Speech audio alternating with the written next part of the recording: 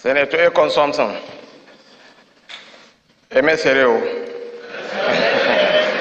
Abadia. Is,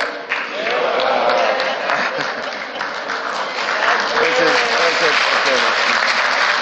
Sosong, Sosong, Sosong.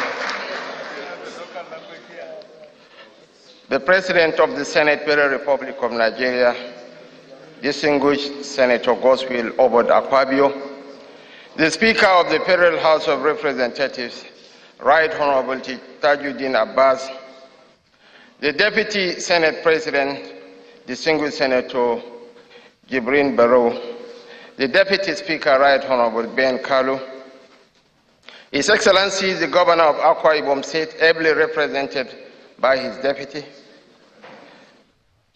the leaders of the House of Representatives and the Senate, our former Speaker and currently the Chief of Staff to the President, former Senate Presidents present here, especially distinguished Senator Anyim Pius Anyim, distinguished Senator Ken Nnamani, distinguished Senator David Bonaventure Mark, and of course distinguished Senator Ahmed Ibrahim Lawan.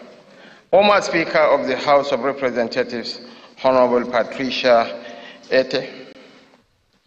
Special advisors to the President, the Deputy Head of Mission, Embassy of the Republic of Germany, Director General, National Institute for Legislative and Democratic Studies, the resident representative of Konrad Adenauer Stiftung, honored guests, distinguished ladies and gentlemen.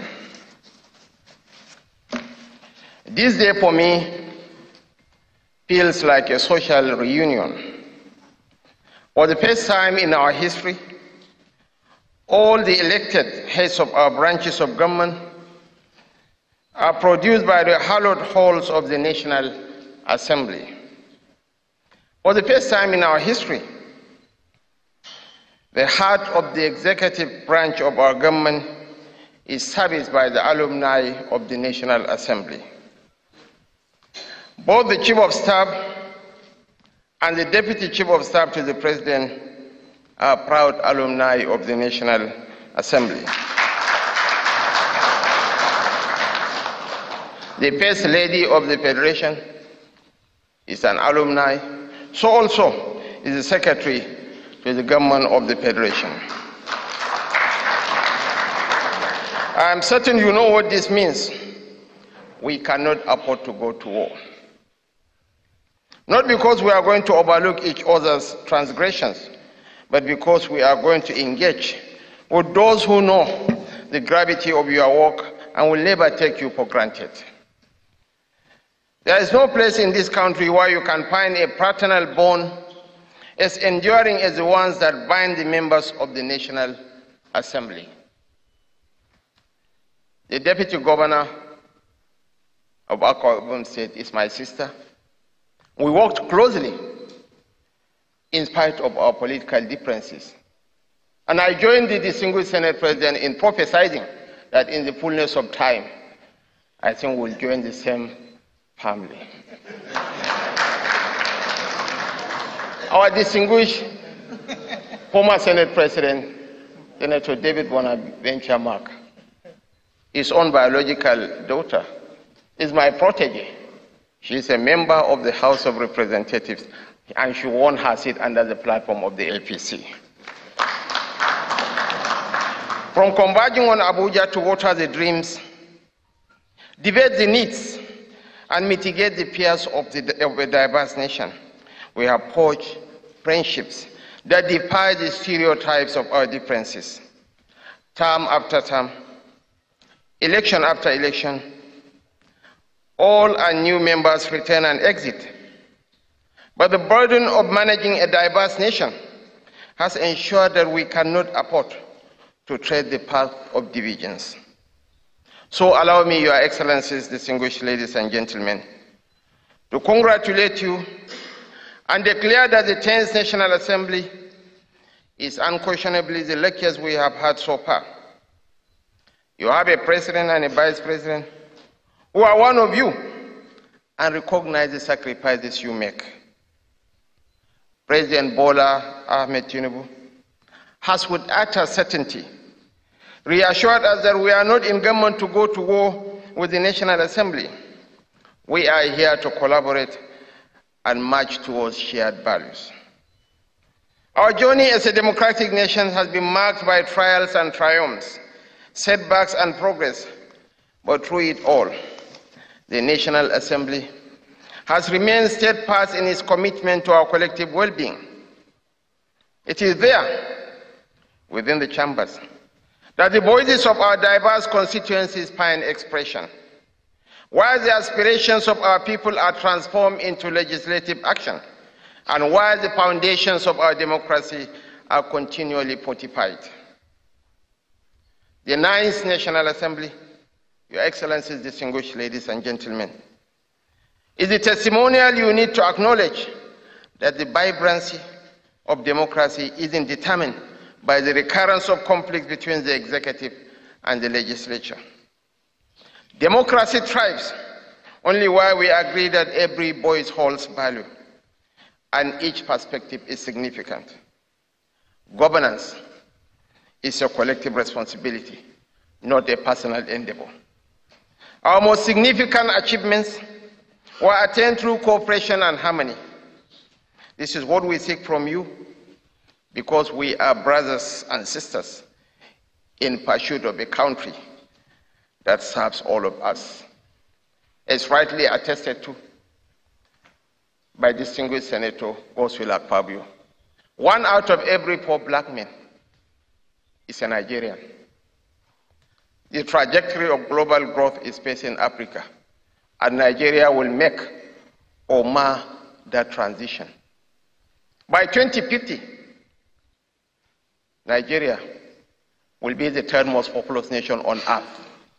Our population will hit 440 million. We will surpass the United States of America. And by the end of the century, Nigeria will be the most populous nation on earth. And what are we going to do with the anticipated demographic bulge? This is a blessed nation we can turn the anticipated demographic bulge into demographic dividends. I believe with the quality of leadership we have, it will not turn into a demographic disaster that will consume all of us.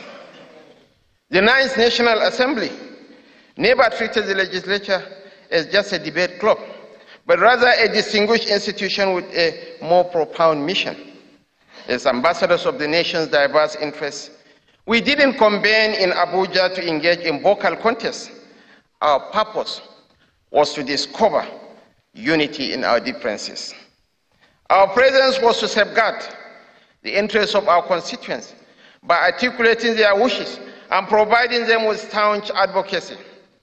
Our ultimate goal was to secure their recognition and representation within the executive branch. Your Excellencies, distinguished ladies and gentlemen, the National Assembly is a complete spectrum of human experience. This is why you will witness eloquent testimonies of your colleagues in defense of reason. This is why you will witness profound debates that will dismantle your age-long assumptions. But in the end, you will realize that we are all bound by our fidelity to the ideals of democracy. Today I stand before you burdened with an additional responsibility, having been entrusted with the honor of serving as the vice president of our beloved nation. Although we may no longer share the same chamber, our fraternal bond remains unbreakable, just as our commitment to safeguarding democracy persists. It is this sense of brotherhood and sisterhood, this shared sense of purpose, that has enabled us to navigate the turbulent seas of governance with unwavering resilience and unwavering determination. This reunion of ours is an avenue to remind ourselves that the National Assembly, for being a meeting point of all political parties, ethnicities, religions, and regions, cannot be a war within, cannot be a war among siblings the Ninth National Assembly did exceedingly well. And when a fish starts getting rotten, it starts from the head. the credit for the success of the National Assembly, of the Ninth National Assembly, can be attributed largely to the debonair gentleman seated here and the former Speaker of the House of Reps, of The task before the 10th National Assembly is mastering the science of converting differences into democracy and democracy into dividends, whether in managing relationships among yourselves or debating the affairs of your constituents. Finally, I want to once again join the uncommon senator. His loquaciousness is matched by his performance. I was quite mesmerized when he started showing us the landmark project that he did while as a governor. From the Bird's Eye Stadium to the state of the art airport to the first class road infrastructure to this beautiful edifice. Controversial he might well be, but he, had, he was the top of his class of 2007. Just like with all humility, I can claim to be the top of my class of 2011. It's my singular honor and privilege to pluck off this retreat. I wish you fruitful deliberations. I wish you well. I wish our leaders, elder statesmen seated here, I'm quite glad. It's a rare opportunity.